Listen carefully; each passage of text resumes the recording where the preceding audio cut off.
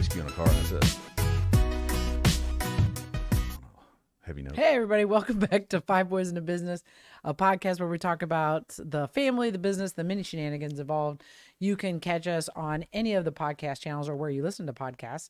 Um, and I'm Emily King, I'm Richie King. and we have Harrison back there behind the ones and the twos. Um, Sixes and sevens. and um, we're here most Mondays. So uh, don't forget to check out the merch store, asvcmerch.com.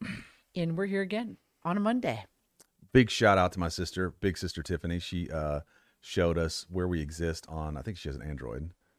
The Oh, yeah. Mhm. So shout out to her for showing us that, and that's how she consumes the podcast. So That's how she listens to the podcast. Yeah, Yeah. exactly. we're on all So- the all the podcast channels. So Absolutely. And with that, Parler's back. There you go. yeah, try to get on Parler this Parler this morning. Didn't You work. can't you can't do it unless you were an existing customer. I'm an existing customer. You were an existing customer.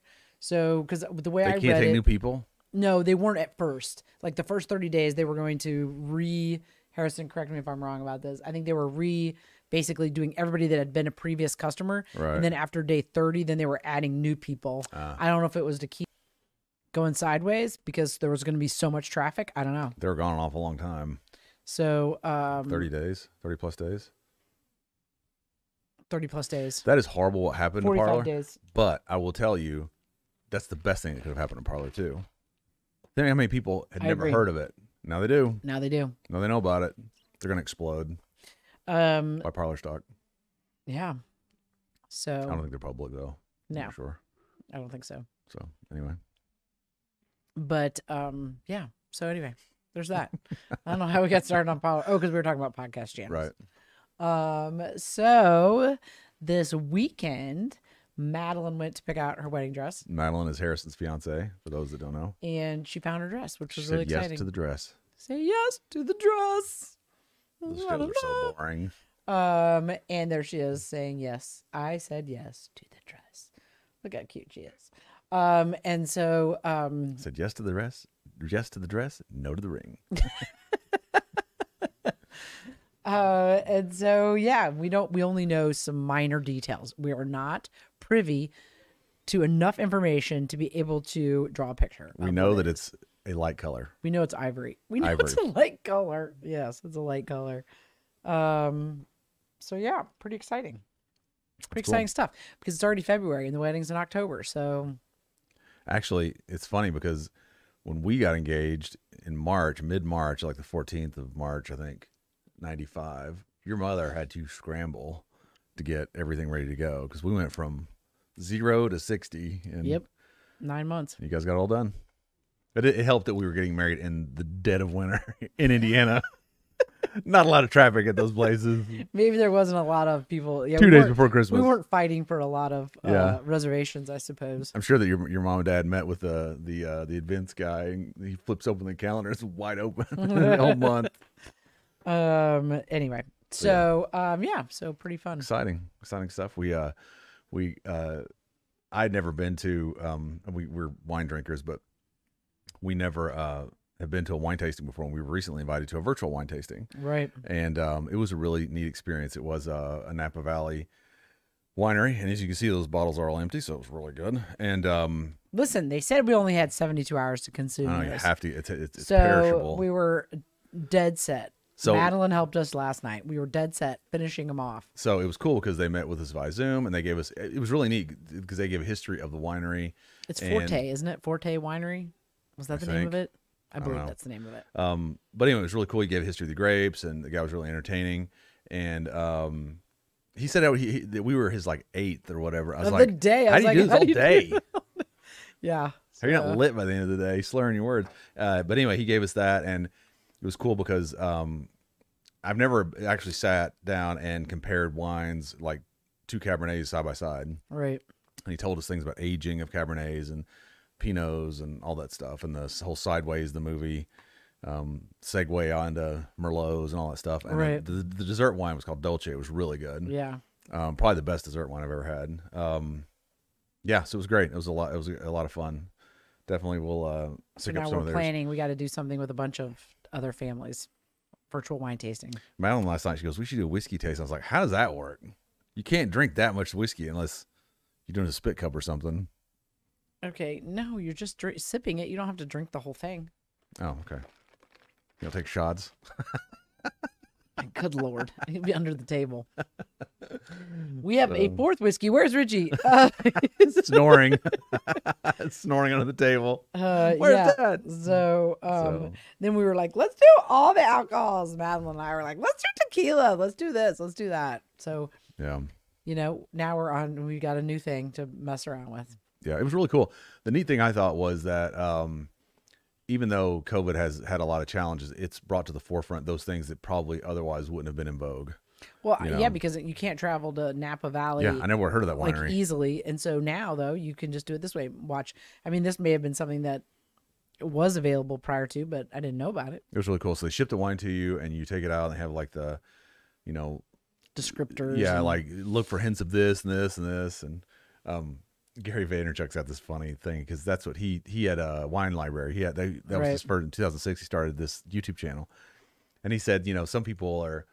He kind of talks about the stodginess of um of uh the wine community, you know, the critic community, and he would get on there and he said that you know people would talk about oh it's got hints of this and you know this and Hints hints, of of, and he goes he, he's on there and he's going I taste what you call it you know I'm getting a whatchamacallit taste in here. Oh my gosh. Yeah. So, uh, They do. They have those all those words like it's a hint of citrus with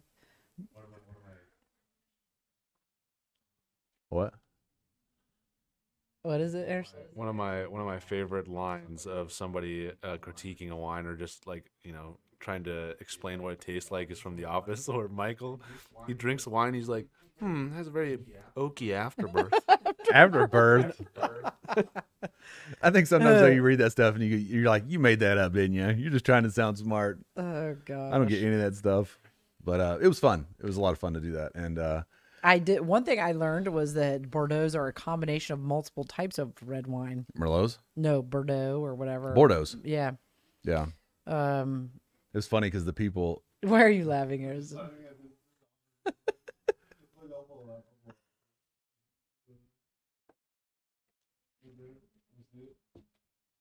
Oaky Afterbirth.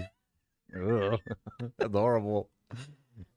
Oh gosh.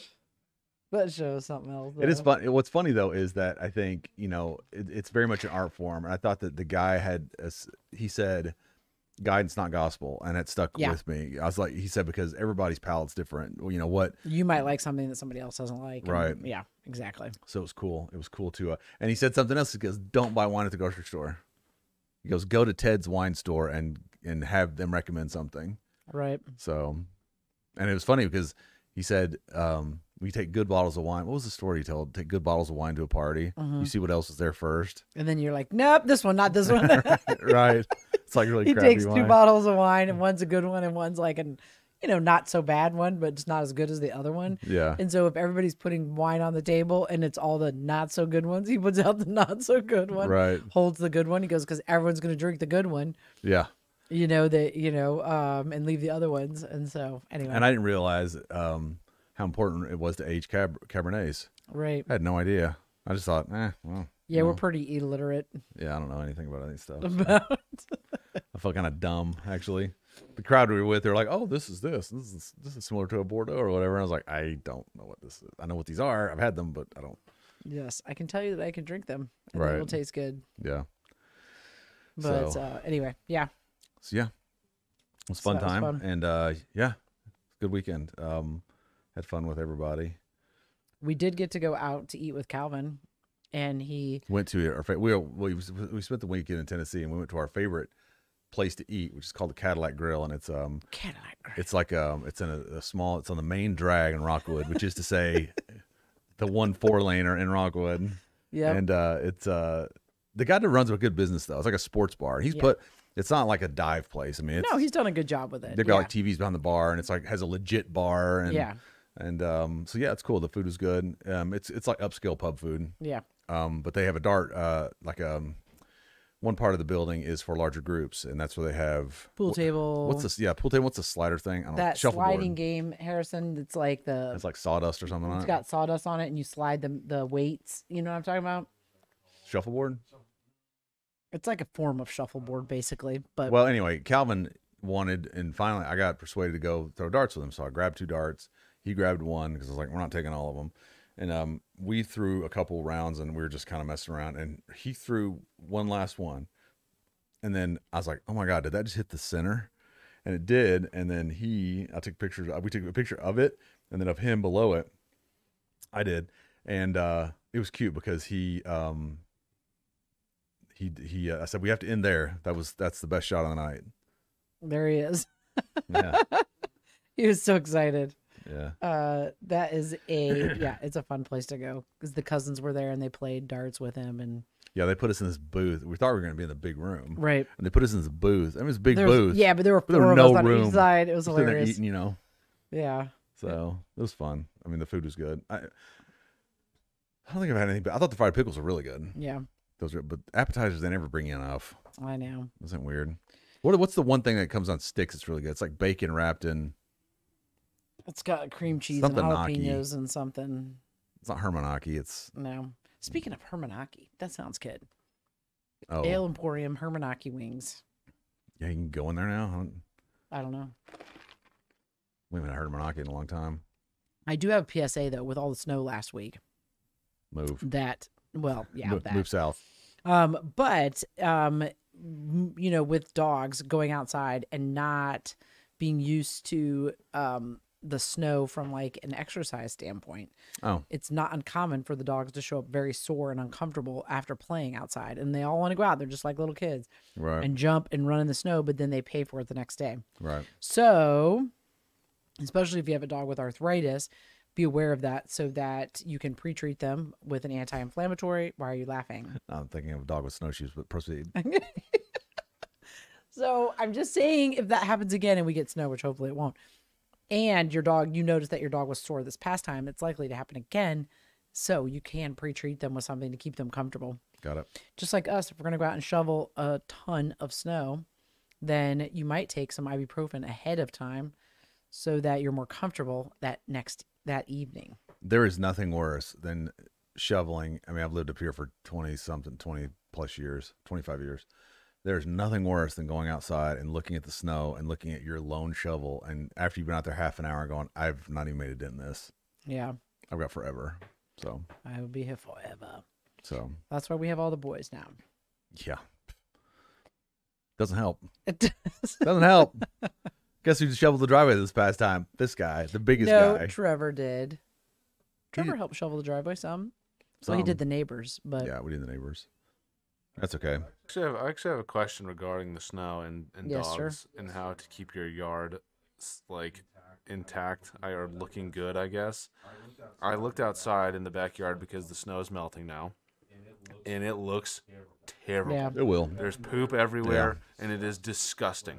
Well, how do you guys go about keeping it You can't. like? once the snow melts, Then you go out and clean it up. then but- you're gonna have to go out and shovel it, scoop the yard. especially in multiple snows like that, where you have like Yeah. snow and snow because you can't see it. So usually once the snow melts, you'll get a little bit. The what I do is I go out, so the snow all melts and it gets kind of slushy out there, and the poop gets soft. Then what you do is go out the next day because it's usually then frozen again, ah. and it just it comes right off the grass, and you just scoop it and throw it away. Right. Versus scooping it when it's slushy. Yeah. You just So let it refreeze and then scoop it. Either way, it's gross. But Just a little tip, we'll take pro tip, another PSA: pro tip from the the pro scooper. no doggy outhouses in the backyard. Actually, went outside the other day to like clean up some of the gutters if they were stuffed with ice or whatnot to get it out. And I go to the side of the house and there's like a four and a half foot ice. Ooh, wow. I know. So I did what any what any reasonable man would do, and I got it down and I kind of played with it for a bit. You know, They'll put your eye out. You know. Had like a sword. It was great.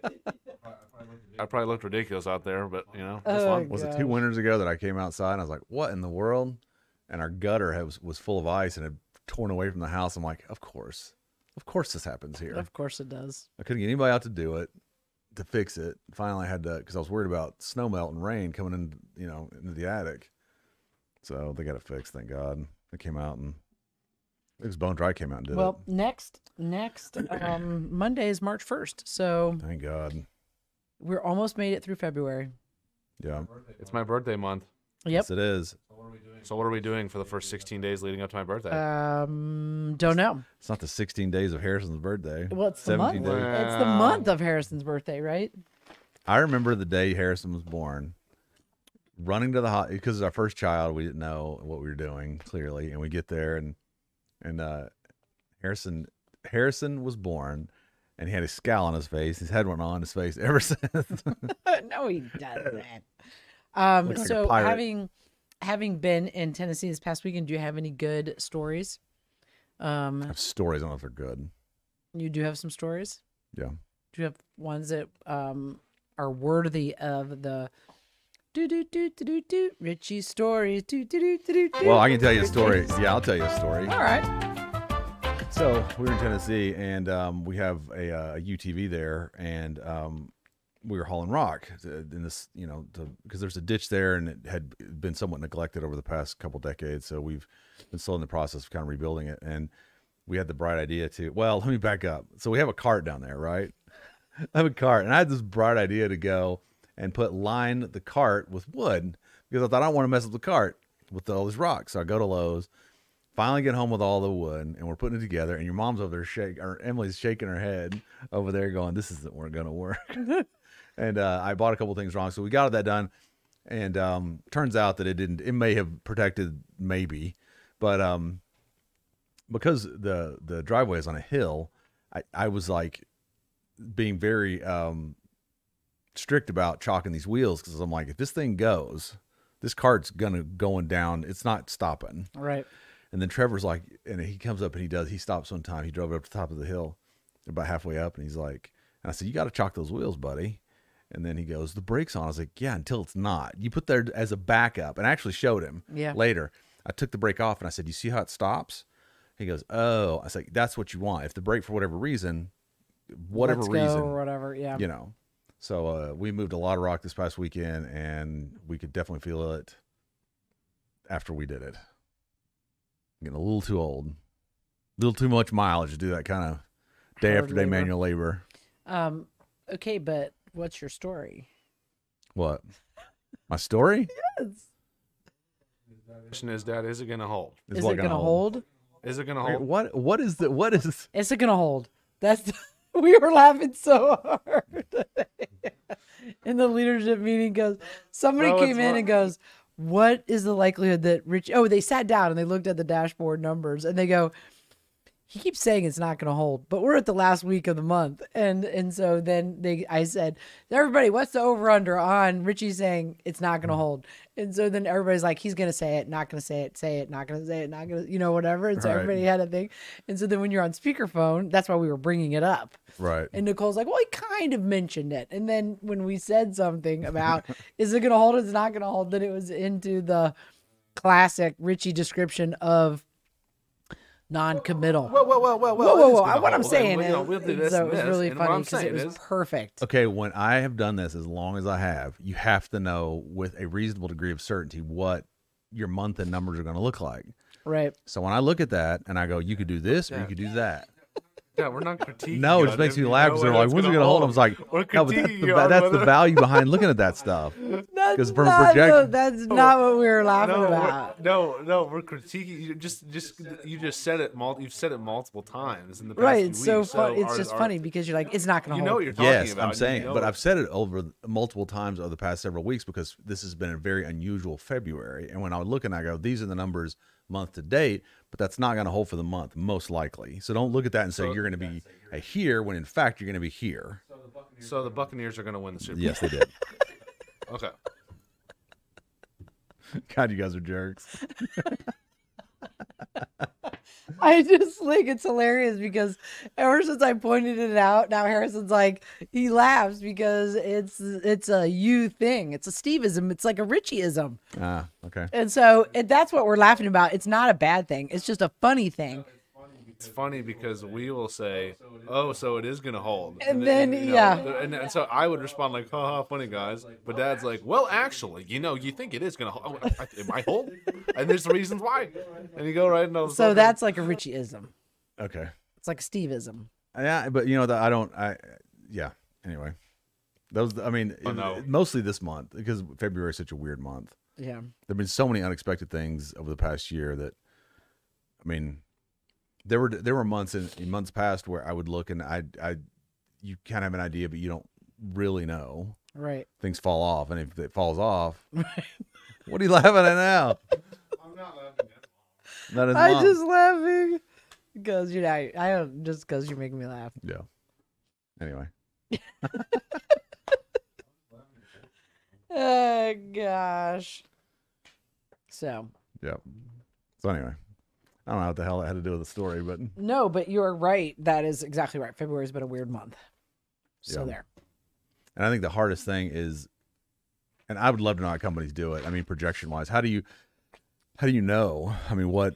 I mean, it's probably just a reasonable, reasonable degree of certainty. You know, I think before there there was a reasonable degree of certainty because it was pretty predictable before what you could expect. I think that the past year now going on, well, yeah, now Yeah, going on a year. year is is not because it's been so different. right? And so it's predictable for the year, like the the year over itself has been predictable, but then from God, year to think so? I don't think so. well, I think from starting I would in never have guessed. no, no, but once it, once things changed, th- it's been predictable. Yeah, I mean, you get ever you- since then. you get enough May- data from points. April to to now. And if, if if I would say things like, you know, you have a week's worth of a week out of four's worth of data, that's not enough to draw any conclusions. But what I think is not predictable is year over year. So what's going to happen next year? What's going to happen a year from that year? Like some of those things I think are hard to predict Well, I, out. I I- I do think that there are there's a bit more complexity, but then it comes down to like capacity, demand, overall economic health, you know, within your area. And if you're in an area like Kokomo, it's very plant heavy in terms of employment. A couple of the plants go, or something happens. I mean, then that's going to affect things. If you have a very Right. diverse workforce like you have here, then it's different. Right. I mean, I've always I've said that before. I mean, in 08, it was obvious that there was going to be a slowdown because of the broader economic decline of what was going on. Right. Even with COVID, I remember thinking, you have these huge numbers. They kept talking about GDP, and it's like people are still spending money. Unlike in 08 where things just fell off a cliff Right. for the whole year because everybody was scared. And I mean, you had this this kind of global collapse basically. You didn't have that here. I mean, other places you might have, but here you didn't have that. That's why last year when I'd look at it, I, I wasn't, I was never terribly concerned. Once we got to a certain point, April, something like May, I was like, this people are home. I mean, we're still able to operate. right. So, um, so yeah, that's where I think when you when you say things like, or when you'll say things like, it's tough to predict year to year. Once you have enough data points, you could say, okay, on average over the past three to five, this is what we've done growth wise, so that we can expect with a reasonable degree of certainty to continue that trend. Assuming you have capacity, assuming you have other things like that. Do you have aggregate demand? Do you have population growth? You have all those things that go into it. So, if you don't have those things, if you're in a, a, a community that's not growing, then there's only so many. You only slice the pie so many ways. Right. If you have competitors there, and I think that's where a lot of places run into trouble. Because I mean, it's great, but that's when you go and look at a different strategy. You're going to go into satellites. You're going to do something else. Whereas here we haven't had to. I haven't really had to do that. Right. So, and I've never ever, I mean, we don't talk about the business much here, but th- that's one of the strategies I've never really been able to wrap my head around is, is, is that when is it feasible and when is it necessary to create satellites like a hub and spoke kind of um, thing? And um, I don't know. It seems like people just open places up and th- then they never go away. So no, I agree. Yeah. um, at Pet Wellness, I think is a good example of that. They just open up a bunch over the course of a few years, opened up several different locations, and they all seem to be doing okay. Well, I think they have a different objective. Oh, I know, but I'm saying demand for veterinary services in general. Right. I mean, it's not like you open up a buggy store and it goes. It's just you know what I mean. Right. I mean, there's a demand for that service. No, yeah, I get that. So, Especially, yeah, I do agree. You know that there's a demand for veterinary services around here. and the only challenge I think you could have is where do you place it so that you don't, you don't, um, predate's the wrong word, but you don't Yeah, basically, don't take away from your. yeah, you don't want to take that away. I mean, you don't want to overlap it so much that you're taking away from it. Now it all goes into one pot. I mean, it's all one qu- company, but you you have to be careful. But yeah, but you've increased expenses then, and yeah, and it's that. and it's a long and it's unlike. I mean, it's it's uh if if our experience over the you know the first the startup period. It's a little different because you have that brand kind of cachet and stuff that goes with it. So if someone's near, they've probably heard of you, and it's you're better at marketing, you're better at everything versus when you first started. But it is a long, it's an uphill climb. It's probably a 10 year play, Right. don't you think? Yeah. I mean, it's some, not something you do and then, you know, you just explode. Right. So it, it um, it, it's a long slog. It's a, it's a much uh, longer term strategy. But then your old boss used to say, because we I remember talking to him years and years ago about this. Don Kreider at Kreider or uh, Don Kreider at uh, Kreider Vet Clinic. He said it's it's easier to just focus on one basket and all your eggs instead of just instead of several. Yeah. So I would agree with that. Be good at what you're doing. yeah, and I th- yeah, I think uh, I don't think you're going to see a lot of new entrants into the market though. That is my that's my sense. Not a ton of startups. I don't. I mean, I think they're still happening. Oh, they happen, but I don't think at the rate I mean, they. even here in Westfield, you know, you've got multiple clinics opening. So yeah,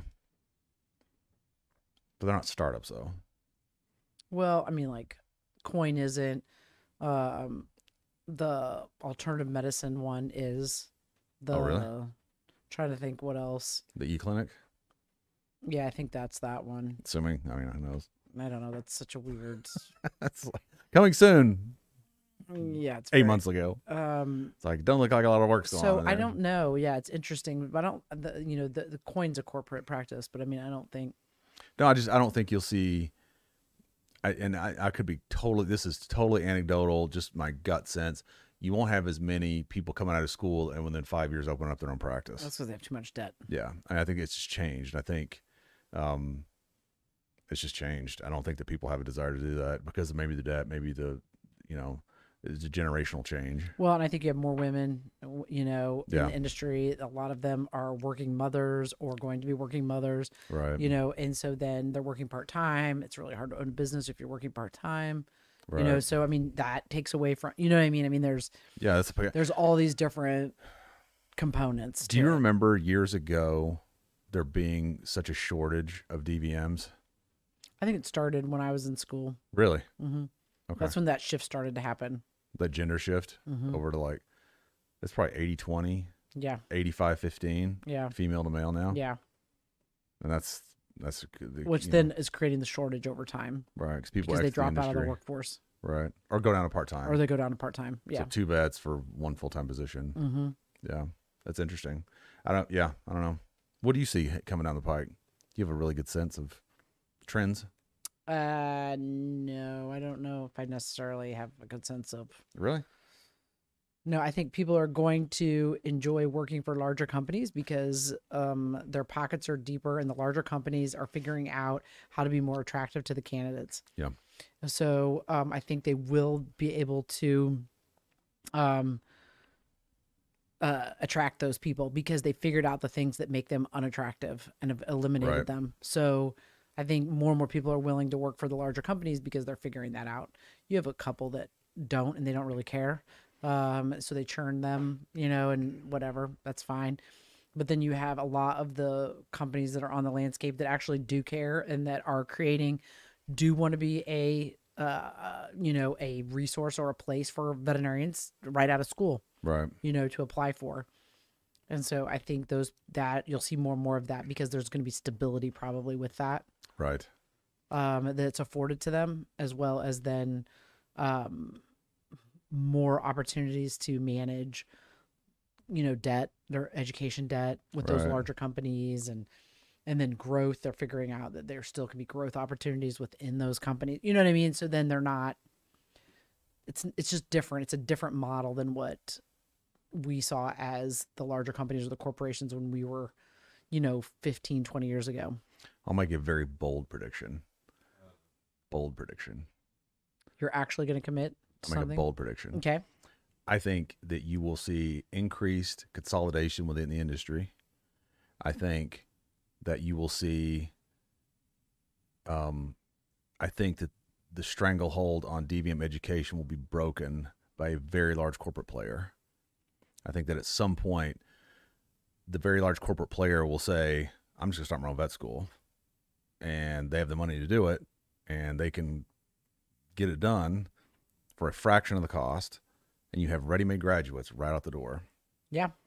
I could totally see that happen because the problem you have now is that you can't have the tuition inflation that you've had in the past and the profession but be viable. Right. I mean, you just can't because it doesn't. The ROI on that is such that it just don't work. It's not worth it. I mean, to spend Right. that kind of money to make those kinds of wages, and I think that over the next decade, you'll see. You're kind of seeing this now. Why you know a bunch of new entrants coming into the market, and those guys are all going to eventually go to maybe three to five big, big players, and that's what you're going to have. Is you'll have those big players, and um, I think either they're going to do it, either they'll go around it and say, maybe start with tuition assistance, such that if you work for us for five years, we'll take care of your debt. It'll be part of your comp package, and then they'll probably eventually that'll lead to why am I spending two hundred thousand bucks to pay this off for five years? I can educate this person after two years of undergrad. They have the prereqs. Prereqs. They come here. I can give them a DVM degree for a fraction of that Right. maybe make it faster. And um, there's some place I think in Europe. This is unrelated but related that they've started to do that. The the college the the the companies some companies have gone to the colleges and said this is the graduate we want. If you give them this degree, this this certification, we'll hire them. There's a ready-made pipeline, and then they've gone and worked with the colleges, and eventually they'll start their own. They'll, you'll just go there, and then once you do that, you'll become an employee of that company. Right. I mean, I think that's what you'll see. That's very bold, may or may not happen, but I think that eventually you're going to see that. And if that ever happens, it it'll be the death knell of brick and mortar in veterinary education as we know it. So what you're saying is that All Star is going to create our own uh, vet school. negative. No. I will say this though, and I do think that you could educate, you could you could impart that skill set for a fraction of the cost. There is no way you can ever convince me that that that skill set that they impart on a graduate is necessarily worth seven times more today than it is than it was 20 years ago. That's more than seven times, probably.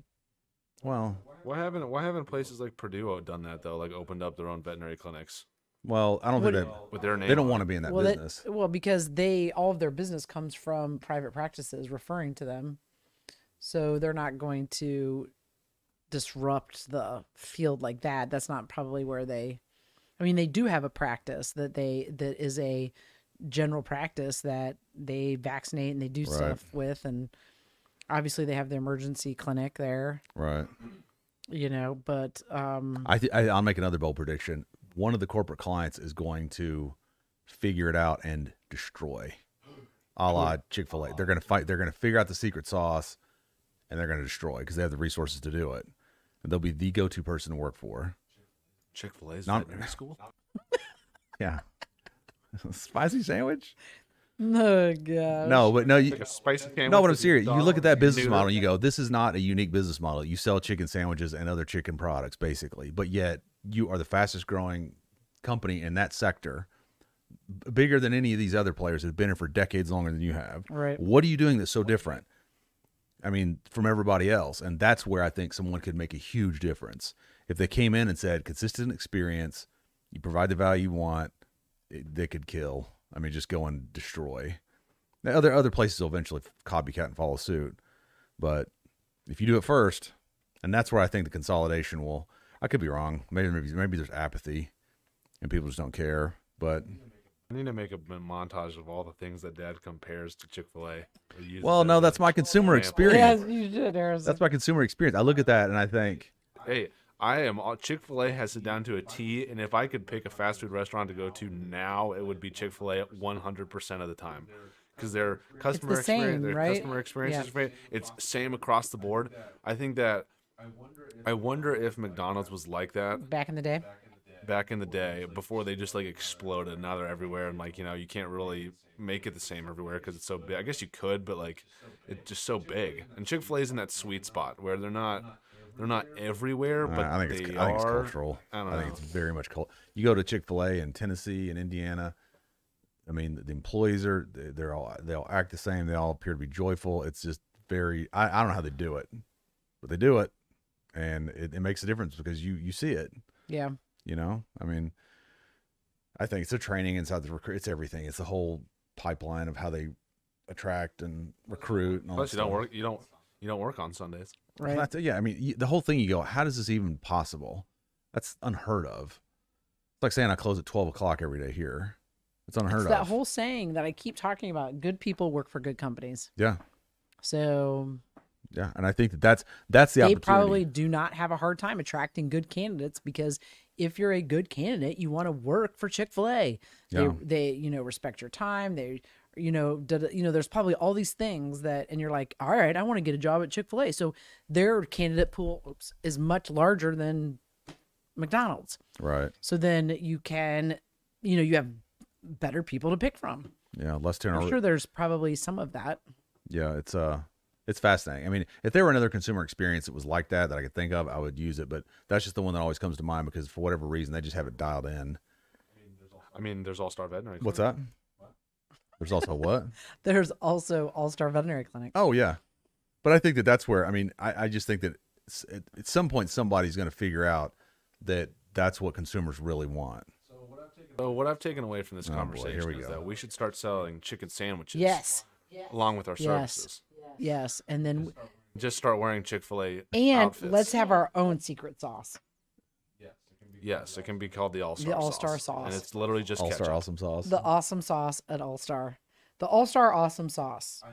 I, there is there is a great idea that mom had because they're talking Just about they're, well they're they're talking about you know taking over some part of the building and whatnot and next to us if people don't know is a is a diner right and so if we were to take that over we have a all stars kitchen area where we cook for clients and it would just be great. It would be so great. While you're waiting for your appointment, go over there and grab an egg salad. An something egg like that, you know I'm saying? All Star egg salad. Okay, Special. If you want, if you want, why don't you just go ahead and skip a step for you open a restaurant? Just take that out money and flush it down the toilet because that's pretty much what's going to happen. okay. Or it can, or, or, it can, or it can be a, like a pastry shop. It could be a pastry shop where you cook for we sell Dan's Donuts. Dan's oh Donuts God, I am and making. I am making Dan's Donuts great for ideas on the dogs. spot. You talked to Hub, Hubner about that. She ran one of those places in feline Chicago. fancy treats. You got it all. You can just bake to your heart's content over there. Dog and cat treats, and from noon to one, we cook for the employees. There you go. I had never heard of dog bakeries until I went over. To, I mean, I'd heard of them, but never been to one. And I actually went to one to pick up. Was it Harlow, Harley, the pit bull that Oh, rescue? oh yeah. hmm And I bought a cake. I picked up a cake Mhm. that you know, and it was pretty. It was like a legit bakery. Yeah. I'm gonna be honest. I don't know how those places stay open. I don't. I'm. I'm shy. It's one of those things where I don't know how they get enough business to keep the lights on. Yeah, it's gotta be tough. qu- quite That's a lot of cakes. A lot of cakes. Mail order maybe. Yeah, they or they might distribute into stores. Right. You know what I mean? Like they might be selling in stores. Like I know there's this one that sells inside PetSmart. Do you remember that guy years ago when we first opened? He was, I think, a Purdue MBA student at the time. And he came up with a pill pocket Yeah. thing, and he went to his his, his friends at the project. They probably goes, "You guys, I'm think I'm going to do this," and he did it. Yeah. But I don't remember. I don't know what happened to the company. He used to give. They were like little, uh, almost like wafer type things full of peanut butter, and you would Yeah. put the pills in there, and the dogs would eat it. Yeah. I don't remember. Yeah, that was a long time ago. Wow. Yeah. Pill. It was a. I thought it was pill pockets. Maybe No, it's not the company Pill Pocket because they have that's a trade name or, or somebody different. yeah. Speaking of donut or like just like pastries in general, Dan's actually makes the majority of their money off of people like or businesses ordering in large amounts. Oh, heck yeah. Oh, I'm sure the churches. Which I which I just thought. Well, I mean, I guess I wasn't surprised, but I don't know. Yeah, but think about this: your me off guard a margin is the the mar- your margin is the same. It just comes down to how much, how many units you can move. And margin is king. So yes, it's king. so um, That's another phrase of dad's. no, that's not. I don't say margin is king. Yeah. No. Margin is king. you do. Chick Fil A has the best customer. So anyway, yes. Well, of course, it stands to reason. Then the more units you sell, the, the It'll hold. I'm gonna get a necklace from Maritime that says "Hold getting fast." I got I gotta stop. Dad's getting this. He's getting. Uh, no, he's not. God. Anyway, I'm Just you know what I picture when I think of that when I just said that? I picture dad in like a movie like 300 with a sword and like, you know, Right. getting ready to go to war with like finances and saying it'll hold or like something. I don't know. That's what I picture. no, in reality, it's Now yeah, that needs to be the next T-shirt. So we've got we got the T-shirt with the broom handle inside the car. Now we have the T-shirt Harrison of Dad holding the sword with a bunch of numbers in front of him. No, what you actually see. So instead of instead of in the movie, he says, "This is Sparta." Dad can be sick, seen kicking the guy off, saying, "This will hold." Yeah, there you go. We Which got is really, in reality, what you see is some middle-aged dude hauling ass across the field. see ya. Oh gosh. Oh, Too my funny. God. Those those movies that are great because you watch those and you think, I mean, assuming I'm sure those things happen. You go, you had to just assume you weren't going to make it. That had to be the assumption Right. because otherwise, 'cause you're probably not. Probably not gonna make it. You're probably not going to make it. So you know, it's uh it's different. I guess is why you know the yeah. So those are those are the, the bravery that it takes. Even movies. I was reading something about Braveheart yesterday, and I thought it's a movie interpretation, but those kinds of things did happen. Those battles of of uh, Stirling and stuff like that. You think how th- th- it must have taken an, an enormous amount of bravery to do that, to go against insane numbers Right. and do it anyway. So this is why we're going to do it, and we're going to do it, and we're going to win. And they do. But then I guess that's the allure of any kind of, you know, any war movie or whatever you watch. I mean, the insane odds, the opening scene, Private Ryan. You go, this is just, it's just a numbers game. Yep. I mean, you throw ten thousand guys there, nine thousand are gonna not gonna make it, but that other thousand will get through and take care of the line. Yeah. Yeah, so it's crazy. Oh gosh. Anyway, I don't know what that has to do with hold fast, but or hold, It will hold. it will hold. It'll hold. That's what he said. when I was in eighth grade, okay, here's the story. You want to hear the story? When I was in the eighth grade, uh, our homeroom teacher was named Greg Sitzler. and He was a nice guy, but he would always come in there and he'd go, "All right, y'all, you got to hold it down in here." So it was a running joke when he would walk in. Somebody would say, "Hey guys, we got to hold it down." Then everybody would go. He's like, "Shut up." Oh gosh. So, good old Mister Sitzler. Yeah, he uh yeah, he he was he was a good dude. There's a guy in there. This is so many stories from eighth grade. A guy in there named Jimmy Trail. Jimmy Trail was missing a front tooth. Never got it replaced. No front tooth. And he'd bring High Times, the magazine. We're in eighth grade, mind you. He'd bring the, the magazine High Times in there and read it. High Times is a, a marijuana magazine. Right. I don't know where he got it, but we were in the eighth grade. Jimmy didn't have a front tooth. I don't know if Jimmy ever got that fixed Run dude so much. because you're in the eighth grade and, and everybody had their front teeth except for Jimmy. Except for Jimmy. So Jimmy's still around somewhere. Oh He's, uh, yeah. Yeah, that was funny. Well, everybody, we probably need to wrap it up for this Monday. Yep. We'll close out on Richie's toothless. That was, that was his name. He was missing a front tooth. Oh gosh. What is so funny about that? I don't know. It's just funny. It's the details that make a story. it is absolutely. now you can picture in your mind Jimmy Trail, I am. mullet, missing front tooth. Yes, with his uh, Reading High Times. marijuana things coming out of his tooth. There we go. Just holding it there. It was spaceport. Maybe, maybe he did that on purpose. So I could hold it Oh better. gosh. All right, everybody. You can catch us most Mondays somewhere around 11 30, 12 um, and on any of the podcast channels later. Yep. Uh, but live on Mondays. So um, don't forget to check out the merch store. And do you have anything else to add as in closing? Nope. All right, everybody. We'll see you next next Monday, next time on Five Boys and a Business. I'm Emily King I'm Richie King. and Harrison behind the ones and the twos. We'll see you next week. Have a great week. We're out.